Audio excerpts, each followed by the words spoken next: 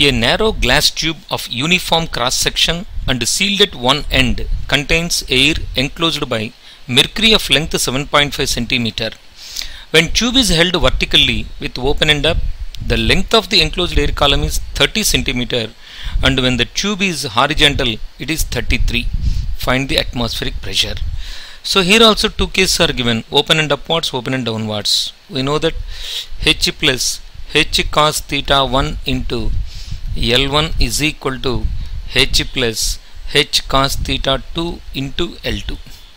First case open end upwards, so theta 1 is equal to 0. Second case open end is horizontal, theta 2 is 90. So if I substitute it, H plus H into L1 is equal to capital H into L2. Now let us substitute the values. Capital H is unknown, small h is 7.5.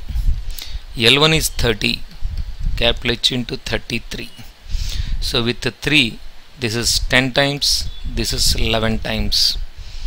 Therefore, if you arrange these terms, 10 into capital H plus 75 is equal to 11 into capital H.